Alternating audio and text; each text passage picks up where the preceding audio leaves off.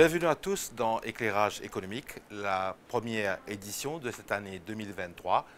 Dans cette édition-là, nous proposons le Vitus Act et surtout l'initiative de Financial Services Institute ainsi que des opérateurs du privé pour essayer de partager avec le public le contenu de ça, la loi CADLA. Donc, qui façon la population mauricienne qui profite de de ça, la loi là pour mettre en place ben, business initiatives. C'est le programme d'éclairage économique.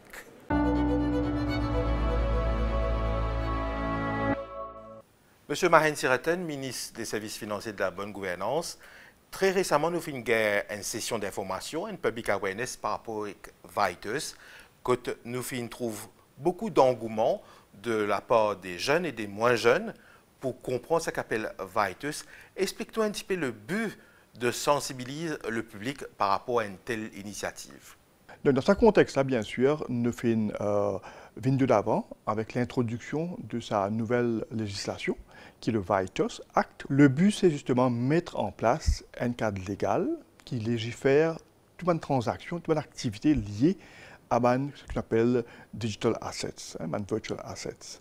Alors pour nous, euh, une fois qu'il nous mettre ça en place, maintenant, nous sommes capables de présenter Maurice comme un des rares pays dans la région et dans le monde aussi, que nous avons un système réglementé pour toute une activité liée à ce qu'on appelle le virtual assets.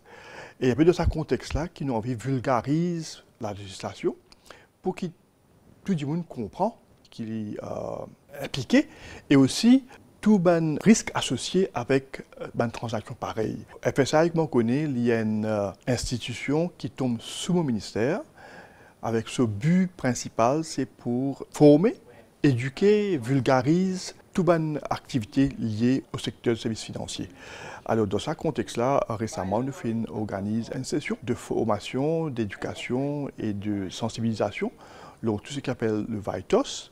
Et donc, je suis bien content qu'il nous ait beaucoup, beaucoup de, participants et de tout âge qui viennent participer.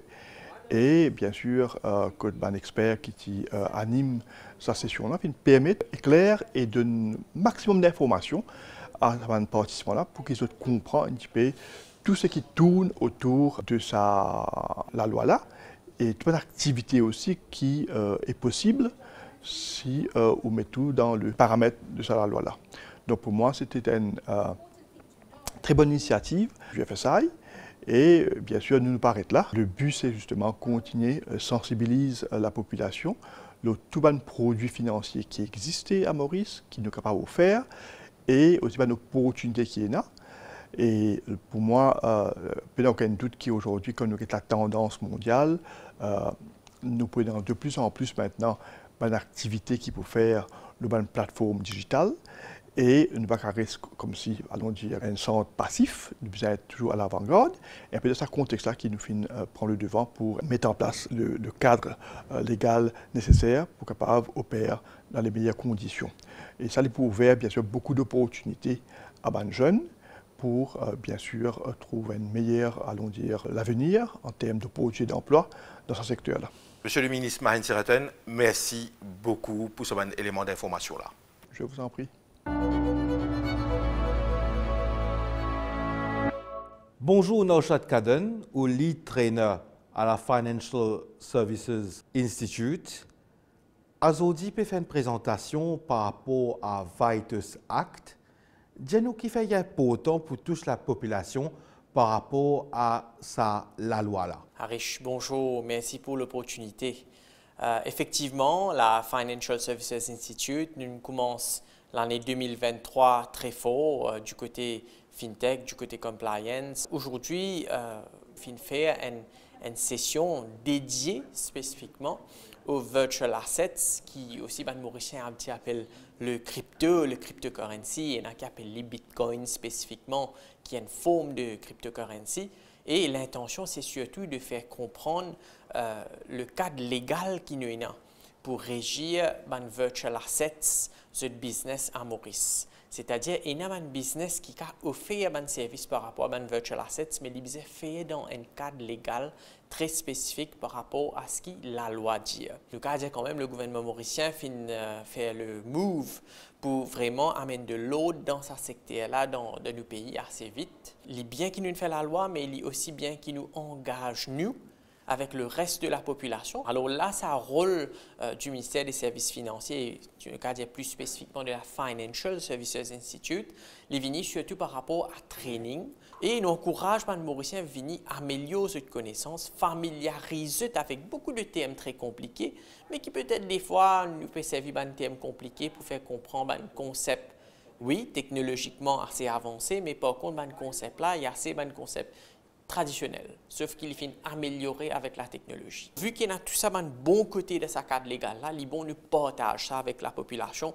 Comme ça, un certain niveau de confiance développé entre les opérateurs du secteur, l'institution régulatrice et aussi les utilisateurs ou les gens qui veulent améliorer leurs connaissances dans sa thème de virtual assets.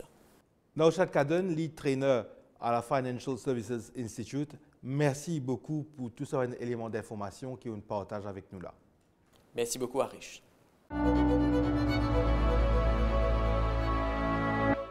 Est-ce qu'il y a une présentation similaire, il y a pour toi quelque chose dans ton carrière professionnelle? Bien sûr, parce que Vitus, Metaverse, tout ce thème qui nous mettent des audits là, c'est des affaires qui peuvent une révolution façon qui nous fait business. Pour moi, qui dans le domaine financier, nous recevons plusieurs demandes de investisseurs qui ont envie de venir Maurice pour utiliser sa technologie-là.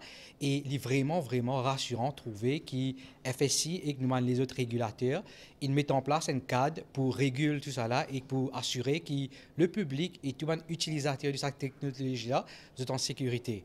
Zo disons, euh, vini, on apprend beaucoup de choses dans, dans la présentation là, beaucoup de termes, beaucoup beaucoup de façons de faire business qui me connais et et me look forward pour pour ce qui est après. Moi, plusieurs années dans le secteur financier, nous recevons plusieurs demandes de clients qui d'investir dans virtual assets, etc.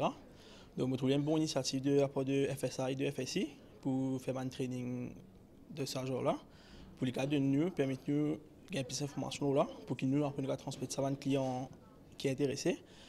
Euh, après ça, session aujourd'hui là, c'est une découverte qu'il y a plusieurs nouvelles façons de faire business qui peuvent vraiment venir révolutionner le secteur. Donc, nous vraiment look forward to encore un training pour nous renforcer nous plus, pour nous gagner plus d'état alors une nouvelle plateforme qui FSP met à disposition.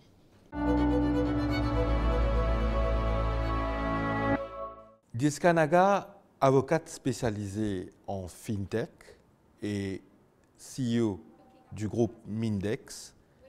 Explique-nous un petit peu ou présence parmi nous ici quant à une présentation, le Vitus Act avec le grand public. Premièrement, merci Dr Koublal pour, pour cet entretien-là. Euh, nous bien contents, nous là aujourd'hui, qu'ils nous invitent pour causer comme premier Virtual Asset Service Provider License par FSI Maurice. Donc, euh, nous là pour deux raisons. Un, nous pensons qu'il est très très important qu'il nous fait ça awareness là pour la population. Vous connaissez le gouvernement indien, il a envie de faire Maurice un fintech hub pour l'Afrique. Ça veut dire que nous échangeons ban euh, assets digital africains, le marché mauricien. Pour nous capables de faire ça, faut la population comprend d'abord. Vous connaissez un mot compliqué, n'est pas compliqué si vous comprenez. Donc, nous, nous envie de faire ce qu'on appelle une demystification. C'est-à-dire, nous, on trouve un mot comme cryptocurrency, comment euh, blockchain, vous connaissez ce que ça veut dire, n'est pas compliqué. Vous connaissez, nous, à cela, tout le monde servi euh, mobile money, qui fait parce qu'ils ont sait et ils ont compris. Première licence, nous gagnons de la FSI, c'est un digital custodian. C'est quoi un digital custodian? Donc, Mindex Digital Custodian, les commandiens la banque pour virtual asset. En fait, il pas comme la banque, il la banque pour virtual asset. C'est ça, nous store un virtual asset là pour un client. Nous donnons un wallet, pareil comme la banque pour donner un compte en banque, et nous store ça asset là. Securely. C'est ça, nous, Digital Custodian. Et après, nous non, c'est licence qui nous fait gagner récemment, c'est un Digital Securities Exchange et un Clearinghouse. Et là, nous commençons, nous, nous, que simplement, nous, un Securities Exchange comme la SEM, mais nous digital. Ça veut dire, nous, nous servons blockchain pour nous créer, nous store et trade nos assets plus rapidement 24 heures au 24 et nous assets li on-chain, nous capables de rouler le blockchain là, l'internet. Pour revenir un petit peu à la présentation, une cause de l'affaire comme euh, cryptocurrency, une cause de l'affaire comme NFT, c'est ça un asset qui vous peut causer là et qui Maurice ne comprend pas ça. Est-ce qu'il y a des affaires virtuelles là, il y en a qui valent ça? Vous connaissez euh, les, bons qui vous demander cette question-là parce qu'en fait, il est beaucoup plus simple qu'il dit croire. Ça veut dire, faire comment dire, oui, non, un asset physique. Ça veut dire, oui, non, l'eau. Ou bien, bouse l'eau depuis, depuis l'aine pour amener l'imoris. Mais à cela, ou bien, prend l'eau physique là. Ou bien, mettre dans un bateau. Ou bien, venir dans un bateau. Et là, là, ou bien, reprend lit. Et en fait, ce mouvement-là, il, il, prend les temps, il coûte serre, ou bien, prend l'assurance pour couvrir un risque qui peut bouger ça, là, il prend les temps. Là, imaginez qu'il nous prend l'eau là nous gardons en place sécure, comme dire, dans la banque se safe, dans l'aine, il pas bouger Et nous digitalise sa euh, euh, asset là, c'est ça l'eau là, c'est une digital representation et c'est ça digital representation là qui bouge. Comment vous explique-nous ça plus simplement? Un tonneau là, nous gardons dans custody un gros la banque. Ça veut dire nous si nous prenons ce certificat qu'il est une custody là, et nous digitalisons. Et ce qui blockchain permet nous, c'est fractionnaliser. Nous faisons un petit, bout. C'est-à-dire un tonne. Là, on faire un petit bout de 1 gramme. Et là, où on est capable une, une, représentation digitale de ça 1 gramme là. Et là, on pas bouge physique là, c'est on prendre un risque là, ça coste là, ça l'étend là, les sécure là-bas. Et là, on bouge ça digital asset là qui représente. Vous connaissez, nous capables penser qu'il est nouveau, mais si vous avez un share qui est listé dans un stock exchange, longtemps nous tenons un certificat de ban shares physique, mais à ce il n'est plus existé. Là, la différence est que nous, pas une soft copy, mais aussi une blockchain. Qui fait une blockchain? Une blockchain, il y a une façon qui où store information pas le N place, N serveur, que tu es capable ou capable perdre l'information.